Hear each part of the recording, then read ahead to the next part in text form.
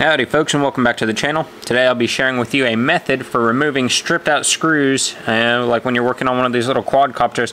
If you come across a stripped out screw, let's say you had over tightened it originally or when you're trying to unscrew it it's, it's stripped so this just spins and both of these spin which is kind of annoying because you can't try to rotate the whole motor around the single stripped out screw. So in this scenario you know you could try to drill it out or you know maybe uh, try to grab it with some pliers, but with these curved off tops, it's really hard to do. So this method is pretty simple.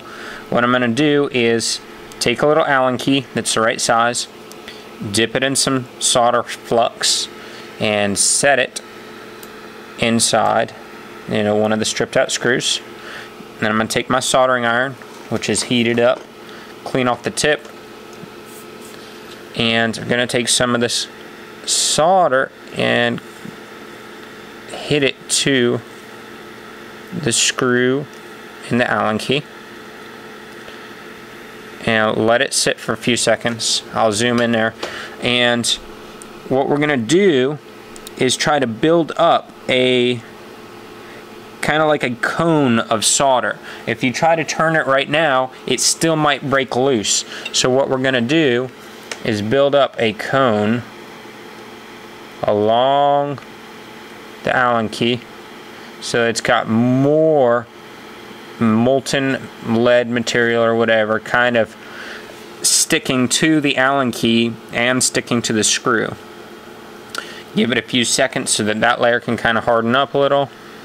You don't want to do too much at once, otherwise, you know, you're just going to end up with a big old runny blob. So that should be enough. Should be enough to grip this screw. You're going to want to let it cool down for a few seconds, otherwise it's going to be too hot, of course. So, let's give it a second. Ooh, man, that's real hot. Whew. Yeah, still too hot. Gonna cut to when it's cool enough to turn. Alright, let's see if it's cooled down enough. It's still real toasty on the Allen key. Just kind of torque it a little bit. And there we have it. That screw is loose and it's removed. Look at that. So in order to get this off, all we have to do is pretty simply, you know, find a safe place for that screw to drop. Maybe take a pair of pliers to hold the Allen key with and simply touch the iron to your little solder mess and boom, screw just dropped in there.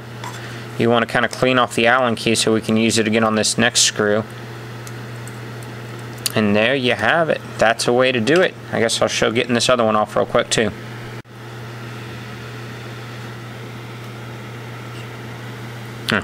It's got a little bit of lead on it so it doesn't want to fit quite. Let's see.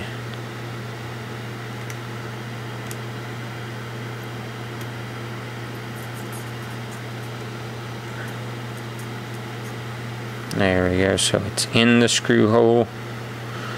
Going to need to add a bit more, of course, solder to get enough contact area with the head of the screw.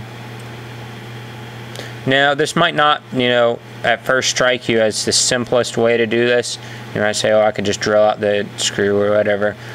But after spending about 20 minutes the other day dealing with this particular quadcopter as I was taking apart to scavenge parts from it and uh, man that was just so frustrating dealing with a stripped out screw and trying to grab it with some vice grip pliers and they wouldn't grab on properly so real glad to have discovered this way. Maybe somebody else has already done it I don't know probably. Okay. Gonna fast forward to when that's cool enough to touch. Alright let's see there we have it. Second screw released. There it is. So that's one way to do it, folks. It may not be the the easiest or the simplest or whatever, but if it works, it works. And uh, just take that screw stuck to the little Allen key. Clean up your little Allen wrench a little bit. And uh, yeah, I mean, it's going to have some lead solder on there, so maybe dedicate one of these to this kind of a scenario, but it's one way to do it. Yep, happy building and happy flying, folks. Till next time.